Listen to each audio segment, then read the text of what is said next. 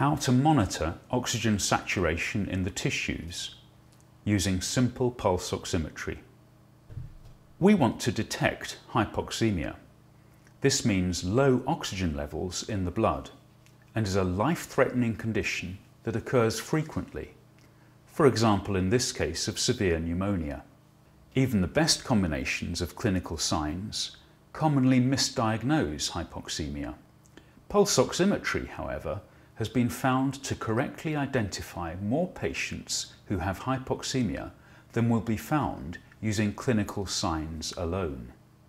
It is now the accepted standard for detecting hypoxemia.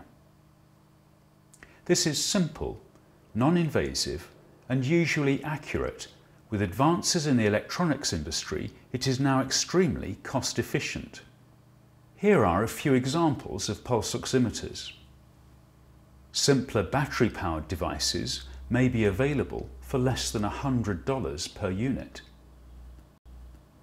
The sensors are usually in the form of clips which can be attached to fingers or toes or the lobe of an ear. Some smaller sensors can be attached with adhesive. The sensors have to be cleaned carefully between patients. The sensors are expensive to replace and the most vulnerable part of this equipment. They can easily be damaged, for example if they are allowed to fall onto the floor and staff must help safeguard equipment. What do the oxygen saturation numbers mean? When we measure oxygen levels in the blood using pulse oximetry, we get a percentage figure of the patient's hemoglobin that is oxygenated, and the abbreviation used is SpO2, meaning oxygen saturation by pulse oximetry. The normal range of SpO2 at sea level is 94 to 100%.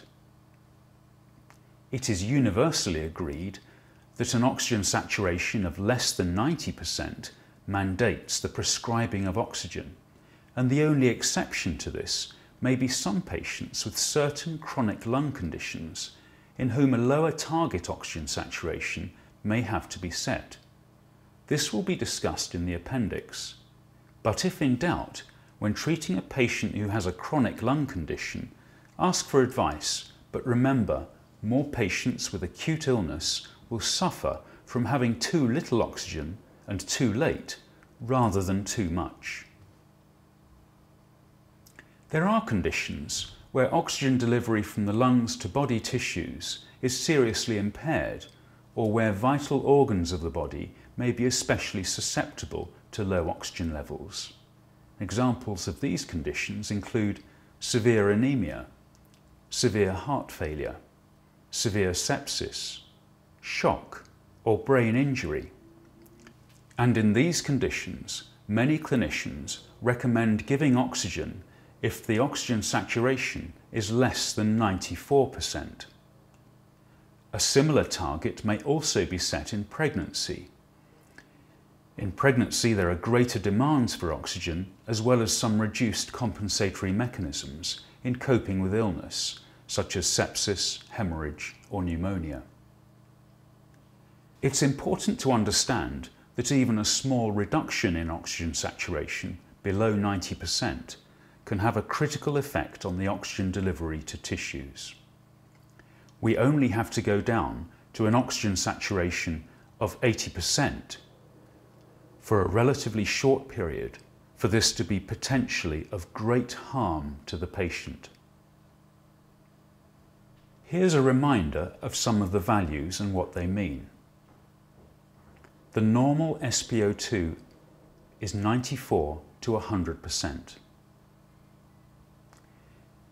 In severe conditions, such as sepsis or injury, many clinicians recommend giving oxygen if the SpO2 is less than 94%. And a similar target may also be set in pregnancy.